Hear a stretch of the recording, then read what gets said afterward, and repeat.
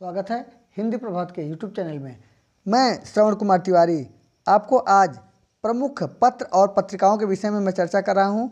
आइए देखिए कि कौन सी पत्रिकाएँ किस सन में और कौन से लेखक और कहाँ से प्रकाशित हुई थी, हम उस पर आज चर्चा कर रहे हैं। ध्यान से देखिएगा।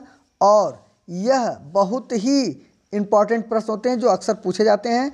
तो याद करना तो संभव नहीं है कि आप लोग इतना याद कर पाएँगे, लेकिन आपके पास हमेशा देखने के लिए, दोहराने के लिए या किसी प्रकार का कोई प्रश्न अगर पूछे जाते हैं प्रैक्टिस सेट तो कम से कम प्रैक्टिस सेट में अगर आपको उत्तर नहीं आ रहे हैं तो आप इनसे हेल्प ले सकते हैं और अगर कोई प्रश्न नहीं समझ में आता और एक बार हेल्प ले लिए तो याद हो जाता है।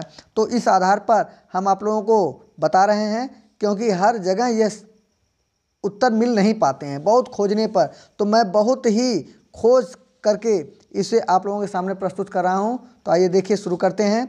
नंबर एक, Bengal gazette, Calcutta general advertiser Hicky gazette 29 जनवरी 1780 यह साप्ताहिक अंग्रेज़ी में था।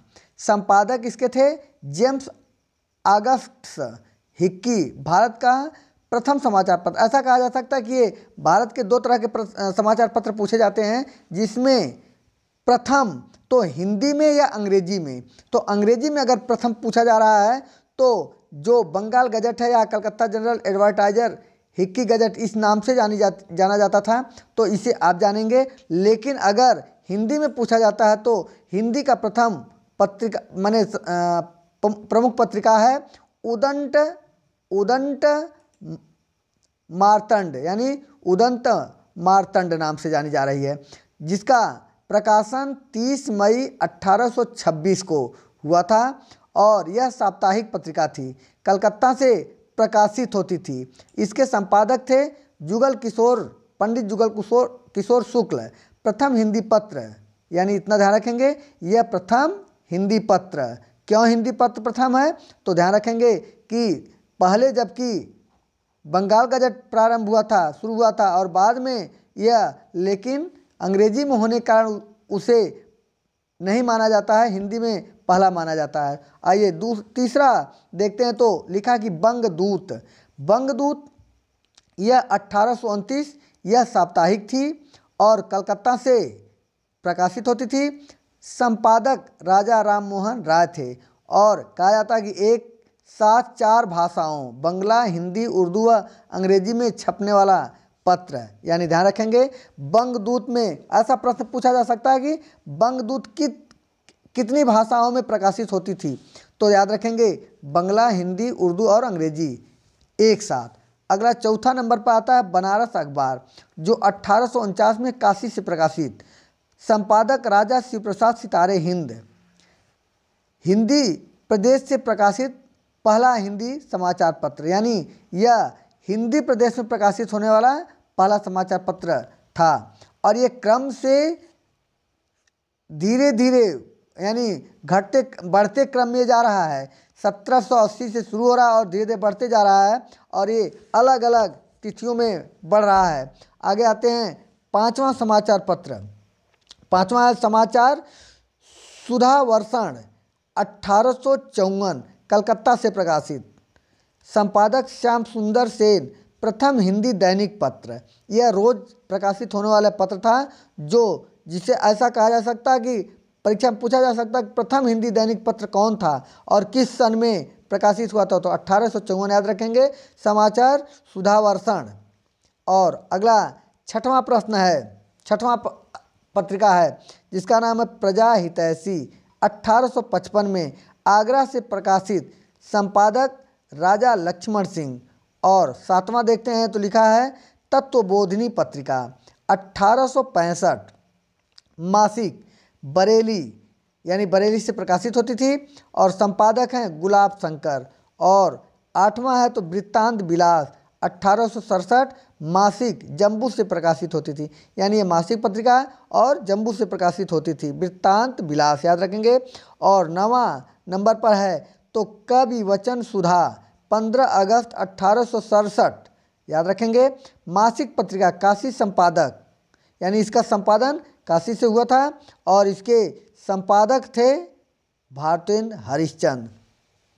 अगला है दसवां नंबर पर, हरिश्चंद्र मैगनीज। हरिश्चंद्र पत्रिका, इसको हरिश्चंद्र पत्रिका के भी नाम से जाना जाता था। हरिश्चंद्र मैगजीन। तो हरिश्चंद्र पत्रिका के नाम से भी यह जाना जाता है। अट्ठारह में बनारस से यह प्रकाशित हुआ और संपादक भारतेंद्र हरिश्चंद्र जी हैं।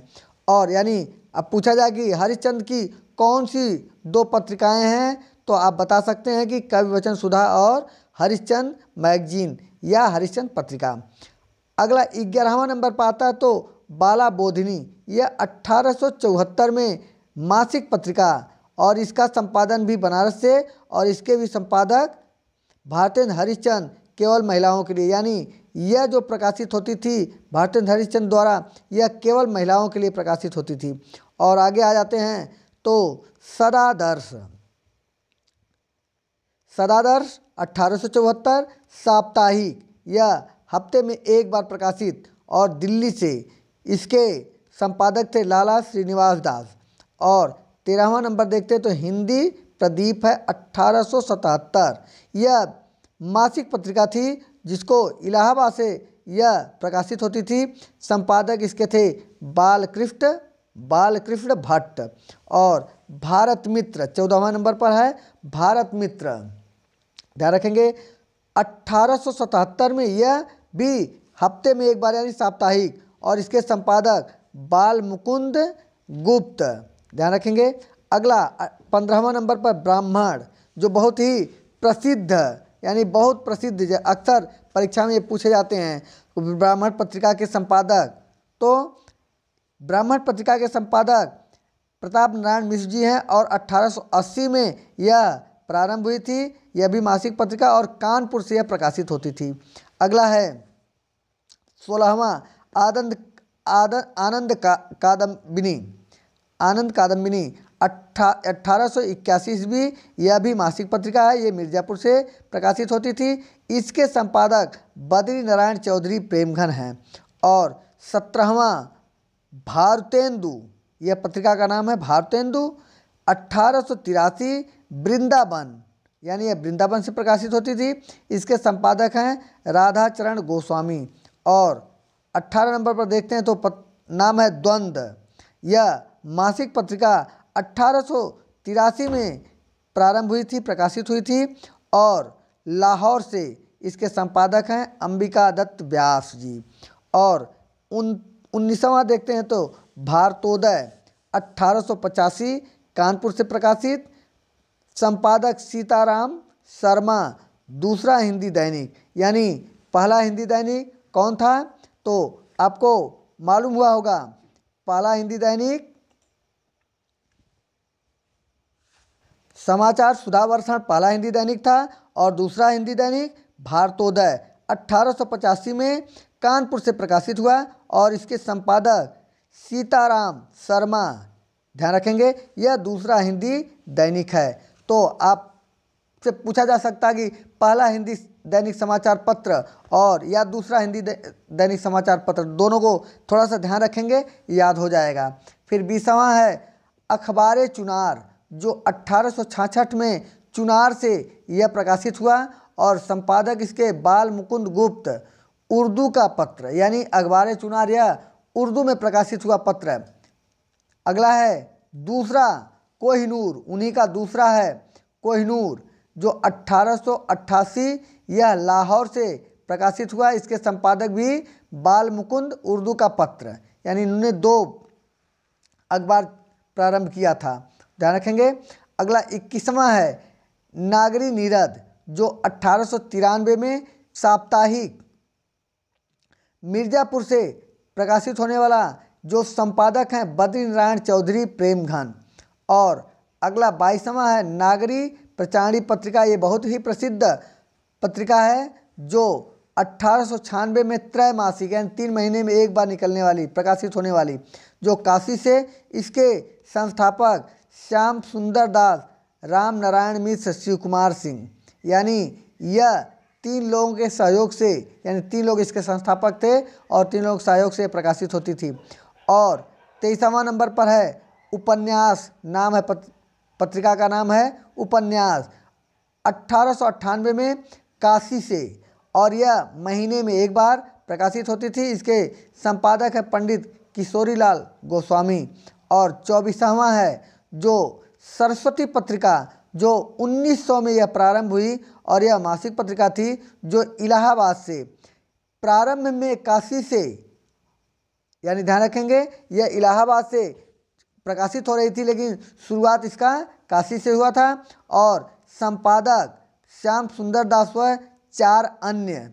उन्नीस सौ निन्यानवे से 2003 यानी अलग अलग समय दिया गया है। तो 1999 से 2003 तक महावीर प्रसाद द्विवेदी और 1903 से 2020 तक पंडित देवी दत्त शुक्ल, फिर 1920 से उन्नीस प्रकाशन काल 1900 से उन्नीस सौ बयासी। यानी ये तब तक चला है और इसके बाद फिर अगला पच्चीसवां आ जाता है। ध्यान से देखेंगे तो समझ में आएगा कि प्रसिद्ध ऐसे कहा जाता है कि महावीर प्रसाद द्विवेदी जी उसके प्रसिद्ध संपादक हैं। लेकिन शुरुआत करने वाले श्याम सुंदर दास जी और उनके चार अन्य सहयोगी भी रहे हैं।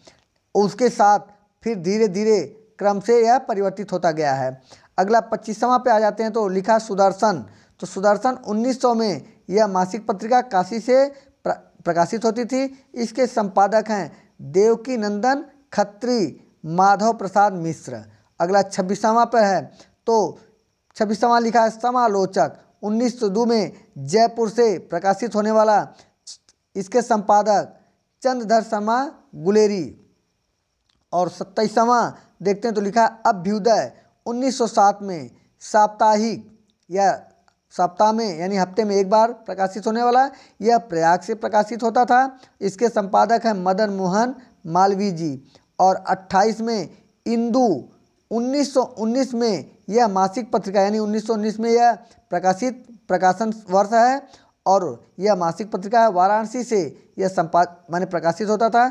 इसके संपादक है अंबिका प्रसाद गुप्त, रूप नरा, रूप नारायण पांडे, जयशंकर प्रसाद की आरंभिक रचनाओं को प्रकाशित करने का श्रेय। यानी इसमें यह, यानी यह पत्रिका जो अंबिका प्रसाद गुप्त द्वारा प्रारंभ किया गया था, इसमें रूप नारायण पांडे और जयशंकर प्रसाद की आरंभिक रचनाओं को इसमें प्रकाशित किया जाता रहा। आगे उनतीसवां पे आ जाते हैं तो मर्यादा यह भी बहुत इंपॉर्टेंट बहुत ही प्रसिद्ध यह भी है।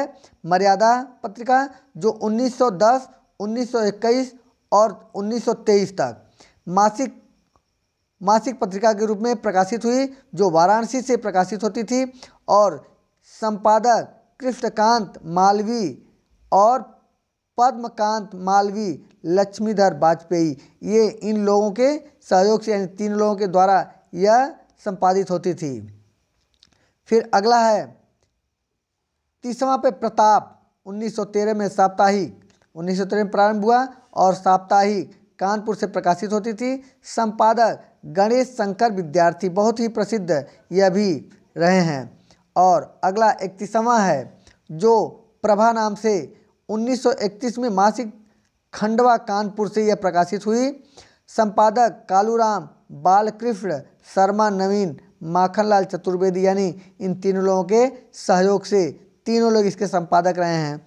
और बत्तीसवां नंबर पर देखा जाए तो श्री शारदा 1916 में मासिक पत्रिका और यह जबलपुर से प्रकाशित हुई थी। इसके संपादक नर्मदा प्रसाद मिश्र, द्वारिका प्रसाद मिश्र, सालग्राम द्विवेदी संरक्षक थे। सेठ गोविंद दास, छायावाद युग का छायावाद युग का श्रेष्ठ पत्र। इसने 1920 में छायावाद संबंधी लेखमाला प्रकाशित कर छायावाद को सर्वप्रथम मान्यता प्रदान की। यानी इसका छायावाद को सहयोग देने में सबसे बड़ी भूमिका रही है किसकी? श्री शारदा पत्रिका की। और अगला है तैतीसवां पे कर्मवीर, जो 1919 में प्रकाशित हुई जबलपुर से। यह भी साप्ताहिक पत्रिका थी। इसके संपादक माखनलाल चतुर्वेदी जी हैं। और चौंतीसवां नंबर पर देखते हैं तो चाँद पत्रिका जो 1920 में यह भी साप्ताहिक पत्रिका है, यानी हफ़्ते में एक बार प्रकाशित होने वाला। बाद में मासिक, यानी इसे फिर बाद में बदल करके मासिक कर दिया गया था। यह प्रयाग से प्रकाशित होती थी। संपादक इसके राम रख सहगल और चंडी प्रसाद महादेव वर्मा यानी इनके इस पत्रिका के तीन संपादक सहयोगी थे, यानी सहयोगी संपादक कह सकते हैं। और पैंतीसवा में हिंदी नवजीवन, जो 1921 में साप्ताहिक पत्रिका थी, अहमदाबाद से प्रकाशित होती थी। संपादक महात्मा गांधी थे।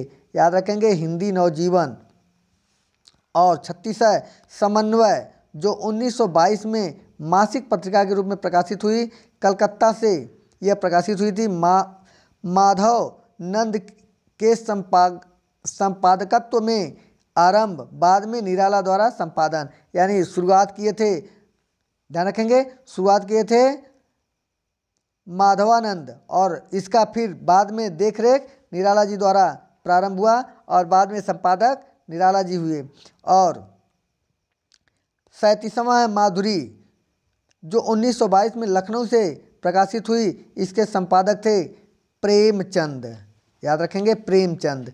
और अड़तीस है मतबाला, जो 1923 में प्रारंभ हुई साप्ताहिक पत्रिका के रूप में, जो कलकत्ता से प्रकाशित हुई। और इसके संपादक जी, इसके संपादक थे निराला निराला जी मतलब सूर्यकांत त्रिपाठी, निराला जी।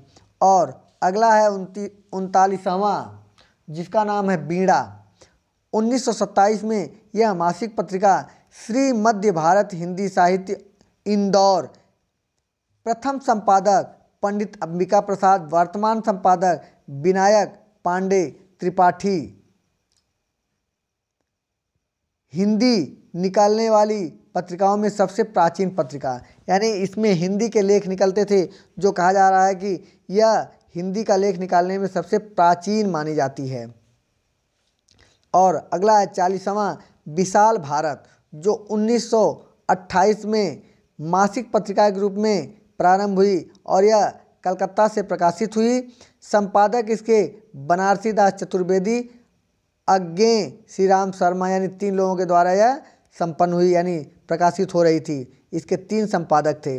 और अंत इकतालीस देखते हैं तो इसका सुधा, यानी सुधा पत्रिका जो उन्नीस सौ उनतीस मासिक पत्रिका लखनऊ से प्रकाशित होती थी। इसके संपादक दुलारे लाल भार्गव निराला, यानी इनका नाम अलग है। ये निराला, दो निराला, यानी दुलारे भार्गव निराला और एक सूर्यकांत त्रिपाठी निराला, दो लोग अलग अलग बयालीस पर देखते हैं तो हंस पत्रिका जो 1930 में मासिक पत्रिका के रूप में प्रकाशित प्रकाश हुई और यह बनारस से प्रकाशित हुई, जिसके संपादक थे प्रेमचंद, यानी मुंशी प्रेमचंद जी। और तिरालीस पर देखते हैं तो हिंदुस्तानी। 1931 में त्रैमासिक इलाहाबाद से यह प्रारंभ हुई और इसके संपादक रामचंद्र टंडन, हिंदुस्तानी एकेडमी इलाहाबाद का मुख्य पत्र था यह। चौवालीस है, जागरण। 1932 में साप्ताहिक पत्रिका है जो बनारस से प्रकाशित होती थी।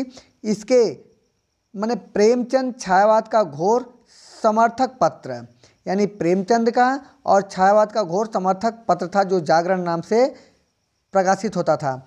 अगला 45 पर है, भारत, जो 1933 में अर्ध साप्ताहिक यानी सप्ताह में दो बार निकलने वाला अर्ध साप्ताहिक इलाहाबाद से प्रकाशित संपादक राम नंद दुलारे वाजपेयी थे। और छियालीस देखते हैं तो साहित्य संदेश, जो उन्नीस सौ सैंतीस में मासिक, यानी महीने में एक बार निकलने वाला आगरा से यह संपादित हो माने प्रकाशित होता था और इसके संपादक थे बाबू गुलाब राय। सैता तो आइए अगला है सैतालीस पर। तो लिखा है कि रूपाभ उन्नीस सौ अड़तीस में मासिक पत्रिका इसके संपादक सुमित्रानंद पंत जी थे।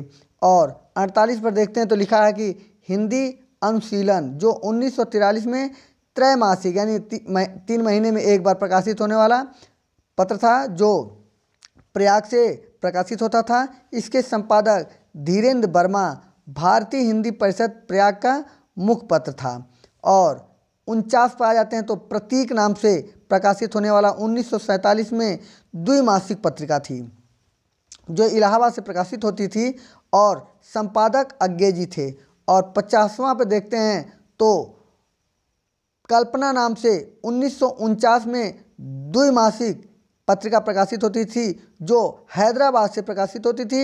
इसके संपादक थे आरेंद्र शर्मा। इस प्रकार यह पचास तो आपके पत्र पत्रिकाएँ जो यही कंप्लीट इतने ही पत्र पत्रिकाएँ प्रकाशित होते थे। तो इनके विषय में हमने आज चर्चा किया है और कुछ हम इंपॉर्टेंट और भी प्रश्न थोड़ा सा थोड़ा सा इंपॉर्टेंट प्रश्न है, जो ज्ञानपीठ पुरस्कार संबंधित है, जो चार पाँच तो ज्ञानपीठ पुरस्कार मिला है, हम उनका, उनकी चर्चा कर दे रहे हैं, ताकि आप लोगों को समस्या ज़्यादा ना हो।